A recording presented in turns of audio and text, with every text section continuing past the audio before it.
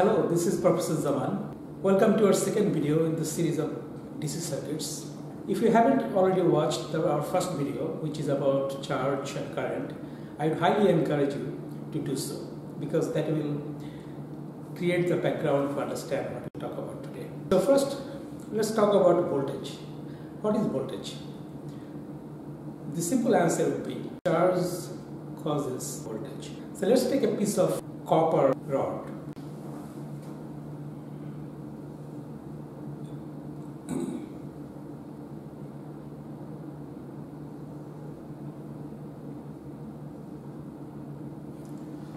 So this is a copper rod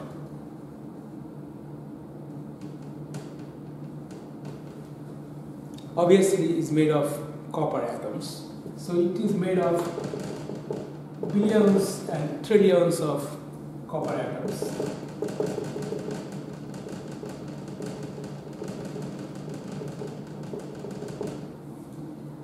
And if you are able to look very closely inside the copper rod with a very powerful microscope, what would you see? Let me draw only a part of that. So let's draw the top line here. And all the atoms will show up as circles.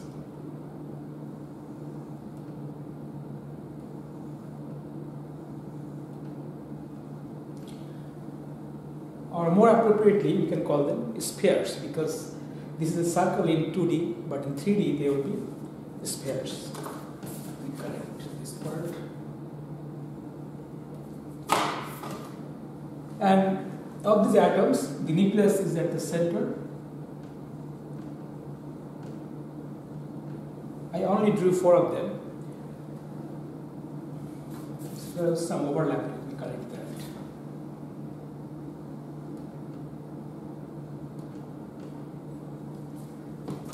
So the nucleus will have protons and neutrons, and electrons will be outside, revolving around the nucleus.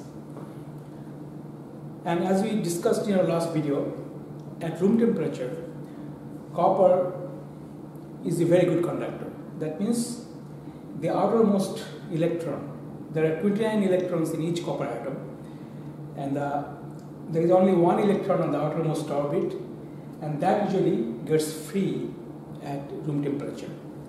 So suppose there are many atoms, for the sake of um, discussion, let's assume there are 100 trillion copper atoms here.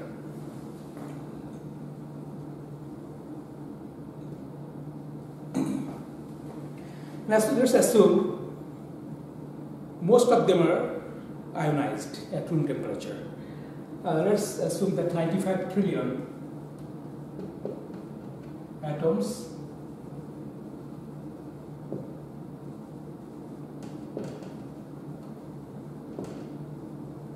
are ionized. That means there will be 95 electrons, 95 trillion electrons out of the atoms. They are in the lattice structure but not inside the atoms. So that means we have 95 trillion electrons and 95 trillion copper ions, positive ions. So if I draw a few of them, so this is a this is an electron, this is an electron, this is an electron, electron, and these are copper ions. If I ask you a question now, in this case, what is the voltage of this copper rod? I think you would correctly say voltage is zero. Why? Even though there are negative charges and positive charges, but the net charge is zero because there are equal amount of positive charge and is equal amount of negative charge. So the net charge of the copper rod is zero. As a result, it has zero voltage. So how do we get this copper rod to have non-zero voltage? One way would be if you somehow you could add some electrons to this copper rod. Suppose we are at 20 trillion electrons to this copper rod. Now what will happen? Now we have 20 trillions more electrons.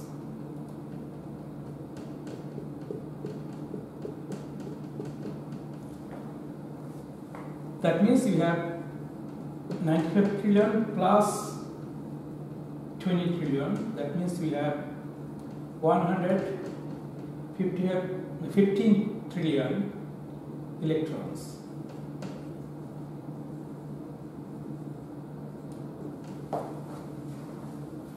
What do you think? What will be the voltage of this copper rod now? It will not be zero anymore. Okay? I think you have correctly guessed it. Now the question is, will the voltage be positive or negative? And the answer would be, voltage would be negative in this case because this copper rod has a net negative charge which is 20 trillion more than the positive charge. So it will have a net negative voltage. Now the question is, will the voltage be different at different places of the copper rod? No, because copper is a very good conductor. If there are more electrons in certain places and less on other places, then electrons will be transported from regions of higher density to the regions of lower density and basically electrons will be redistributed. As a result, everywhere in the copper rod we will have a negative voltage which is same everywhere. So let's assume that voltage is minus 2 volt. So that means by addition of the electrons, the voltage of this copper rod is minus 2 volt. I have seen in my classes that when I teach, some students ask me, sir, is it possible to have negative voltage? Answer is yes, it's practical. We see as we see in this example, having more electrons causing this copper rod have a static negative voltage of minus 2 volt. Now let's assume something more. Say we add more electrons, not 20 trillion. We add even more 20 trillion electrons to this copper rod. As a result, it will have 40 trillion more electrons than free uh, negative charge than positive charge. So will the voltage remain same or change? And I think you have correctly guessed the voltage will also change. Instead of minus 2 volt, it will be higher negative voltage. You cannot really say how much it will be. It depends on the size of the copper rod and everything. But it will be more than, uh, more than minus 2 volt. What I mean, it will be probably minus 3 or minus 4 volt or minus 5 volt or anything between them.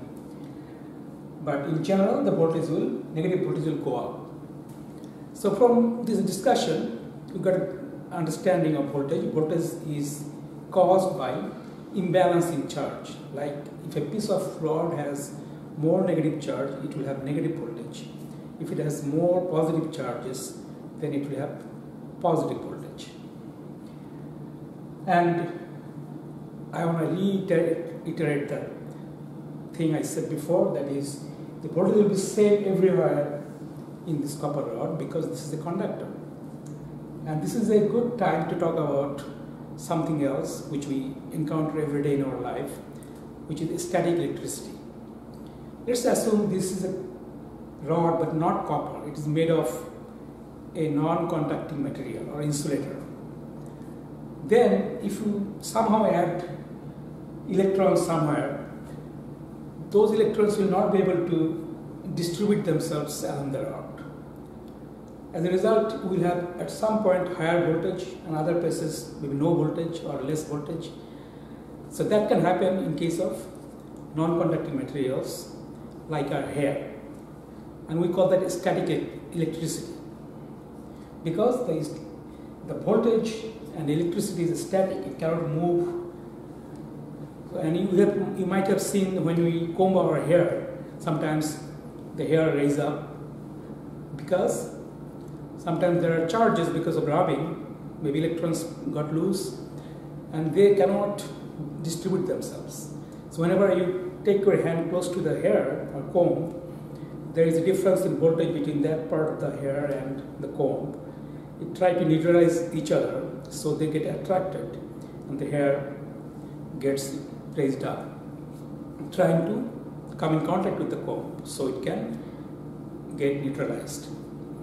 So that is again happening because negative charge and positive charge attract each other or there is if there is any difference in voltage they will attract each other because charges will try to flow from the lower higher voltage to lower voltage trying to get the system neutralized.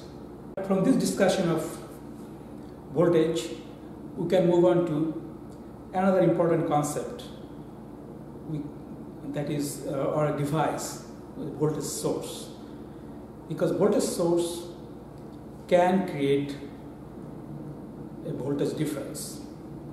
So what is a voltage difference we first need to talk about. So for example, let's assume there is a piece of copper rod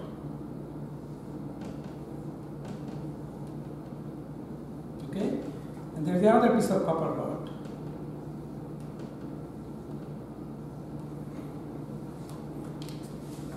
Now, normally if you do not charge them, they will overall it will, they will be neutral, charge neutral. So there will be no voltage. But somehow if you could add more electrons to this rod, it will have net negative voltage. And say somehow you could remove some of the electrons, free electrons from this copper rod, it would have net positive voltage. In this case, suppose you connect them with a copper wire. What will happen? As you can guess, since this has more electrons and this has less electrons, electrons from this copper rod will be transported through the copper wire to this piece of rod. And eventually they will rebalance and overall there still could be a voltage if there are more negative charge than the positive charge here, there could still be voltage. Uh, but if there are equal number of negative charge, net negative charge here and net positive charge, then they will get become neutral. So, and when electrons move from this uh, piece of rod to this piece of rod through this copper wire, we will have a current flow through this wire. Again, if I ask you what is the direction of the current, electrons are going from this rod to this rod through this wire. That means current is actually flowing this way. So there will be current flow from this rod to this rod. So you can also remember this thing that all current always flows from positive voltage to negative voltage. So one thing we have to also understand here.